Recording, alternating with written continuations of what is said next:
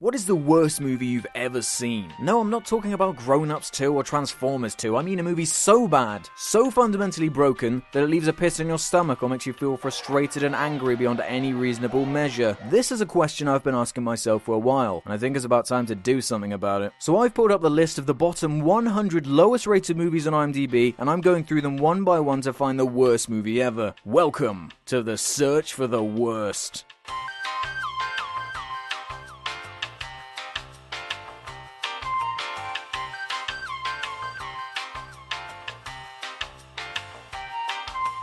Robot Monsters sucks.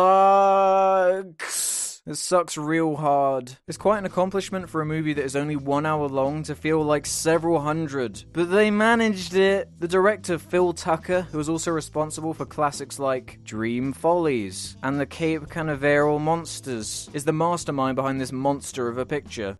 Get it? Because the movie's called Robot Monster and I called it a monster. It's yet another movie that suffers from something I like to call, why couldn't we have seen that movie instead syndrome. The idea being that a race of gorilla people who have a dumb looking bucket on their head have somehow managed to kill everyone on the planet bar half a dozen who have hidden away in the desert or something. Thing is, they don't really make this fact very clear. So you spend the first quarter of the movie thinking to yourself, wait, who are you?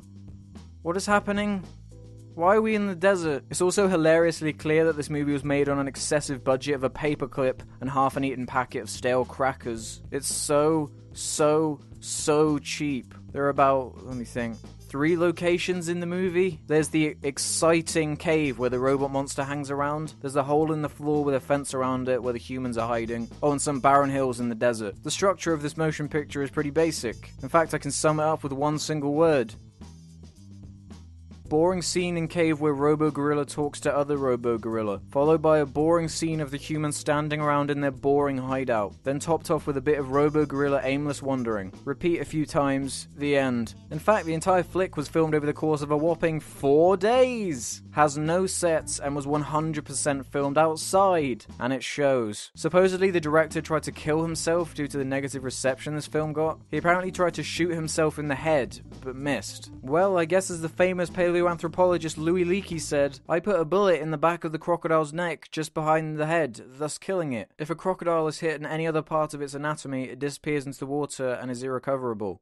Wait, I think I think I've got the wrong quote here. Just give me a sec. We're immediately introduced to a couple of kids who are playing a game of who can be the least convincing, stiff, and awkward child actor. They find the aforementioned cave, where a couple of dudes who claim to be archaeologists are doing whatever archaeologists do. The family then have a picnic. This is what I meant by it being very confusing, because it certainly doesn't seem like they're in a post-apocalyptic world. Well, technically it isn't at this point, but you'll find out why later. But it still, it still makes, makes, no, sense, sense and feels weird. weird. The kid runs around by himself, then lightning strikes from the sky and he falls over. Then it cuts to these completely unrelated clips of a lizard and a crocodile with a spine attached to its back having a fight, and some stop motion triceratops having a tussle as well. Like it's totally just rolling around with it. Okay, stop motion. What is happening? I, I, I have no idea what that was supposed to be, who or what. I am any. What was that? When the kid wakes up, there are some mysterious machines just sort of there now. One of them looks like it's emitting some kind of pollen or bees. Watch out, they might sting you, kid. Get out of there. I eventually figured out what it's supposed to be. They're bubbles. It's a bubble machine. Oh, it's bubbles. They're bubbles. They're not bugs or bees. They're bubbles. They're only just triggered because future bubbles equal future, everybody. You know, that's been set up and everything. That's a sci fi trope. Bubbles! Because when you think of post apocalyptic robot gorilla monsters, you definitely think of fun little bubbles. The kid hears a noise and outstorms our first look at the robot monster. It's a fucking piss take. Oh, there he is. The monster robot. Sorry, I mean. Oh, he's actually. He's a gorilla. He's a gorilla with a helmet on. He looks really quite wide. I wasn't expecting that. By wide, I mean fat. It goes on a little monitor that's set up in the desolate, isolated cave for some reason, and has a chat with his leader who looks identical to him. They finally explain that Earth is their only rival. Earth is our only rival. And that's why they murdered everyone except a few they missed. Their reasoning is that the human race is becoming too intelligent. You're not very happy. What's the matter? Not, no, not why. What? What? Next, we see the last remaining group of humans who do nothing but stand around looking disengaged. They mention something about the older guy developing a cure for all diseases. I would have never developed a serum without him. The trouble was, he, he wouldn't admit serum I that was does good in my what? field. Anyone who could fix that view Turns you into not a gorilla that conveniently has made all eight or so of the remaining people immune to the robo gorilla death rays.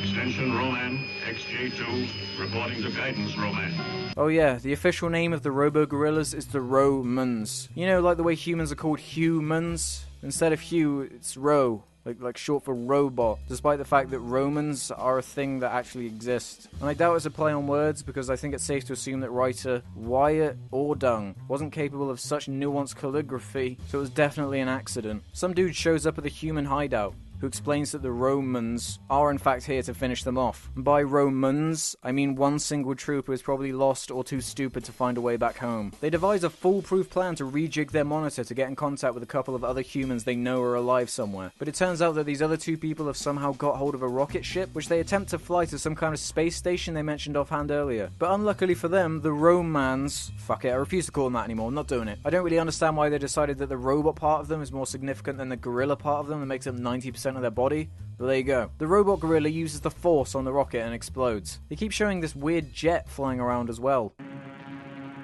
Come on, look at that. It looks like it's made out of fucking plasticine. They never really explain why exactly, but it looks like a cheap plastic toy on a piece of string. Probably because it's a cheap plastic toy on a piece of string. We're about halfway through the movie now, and nothing more exciting than that really happens. For pretty much no reason at all. Two of the characters have a romantic subplot where they want to get married.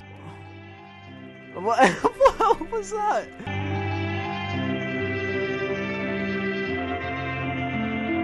Then they get married, then get chased by the robot gorilla after they intelligently decide to make out in the desert. Out of nowhere, the robot gorilla decides that it wants to have emotions. To be like the human.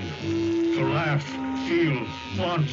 Why are these things not in the plan? and becomes infatuated with the young lady. So he wanders around in the hills for a while, looking like a moron in an oversized gorilla outfit with a bucket on his head. Because that's.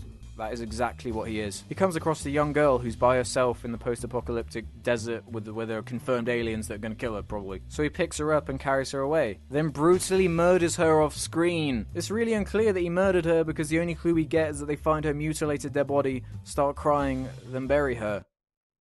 Actually, that's about as clear as you can get. Robo Gorilla eventually ends up in a fight with a newlywed couple and deflects all attempts of assault with its Robo Gorilla's strength, which ends with the bloke being strangled and the woman being hoisted away by the beast. Luckily, the bloke manages to get back to the others to tell them what happened, then dies because movie. Meanwhile, the Robo Gorilla awkwardly pulls off the lady's shirt strap thing. And never does anything more than that before tying her up. Thank God. The dumb kid from earlier spouts out stupid plan to save the lady by distracting the gorilla monster while the others rescue her. Are you keeping up with this? Because it's very complex. The adults who can think logically agree to the plan because they're stupid. He can get us in the ravine if he promises easy death. You slip in and grab Alice when he comes out after me. Get my clerk. There's no time to lose. He promises easy death. easy death. And once the plan is in action, the kid gets strangled by the robo gorilla.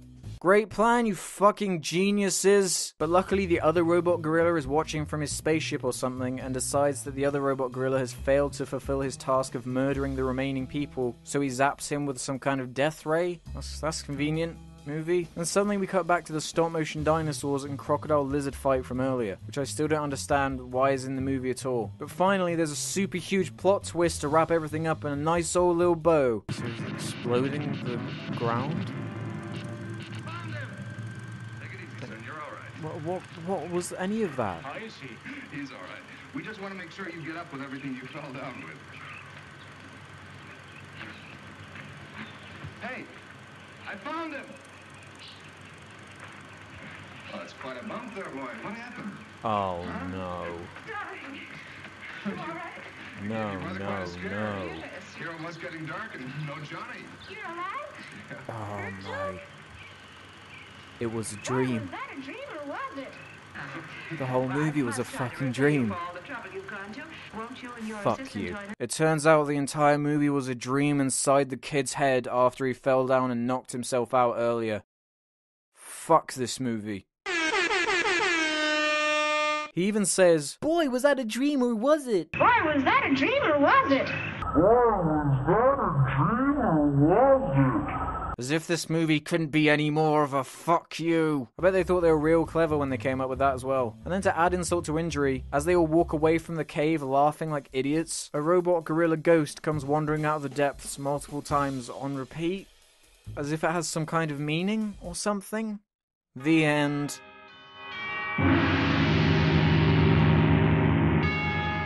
It's ironic that this movie was a production of Three Dimension Pictures Incorporated, because it looked pretty 2D to me.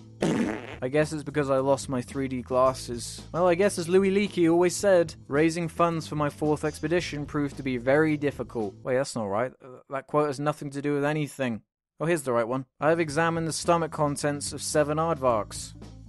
A little bit more relevant. So, Robot Monster. That was a real piece of shit, wasn't it? Arguably the most minimal out of all the movies I've seen for this so far. Almost insultingly so. Oi, Robot Monster. Just because you're released in the 50s doesn't mean you get a pass for being fucking awful. Completely devoid of charm or unintentional humor. Robot Monster is the disastrous result of when an inept man gets a hold of an inept script and somehow manages to work a camera long enough to squat out a miserable fecal discharge such as this. Too boring to recommend, too short to get obsessively angry over. It's nothing more than a forgettable blip in the long history of shitty movies. That's why it deserves its middling place in the ranks. Maybe slightly more towards the bad end because of that atrocious ending. But in the wise words of the great Louis Leakey, although we followed that hyena for the best part of half an hour, we never caught up with it.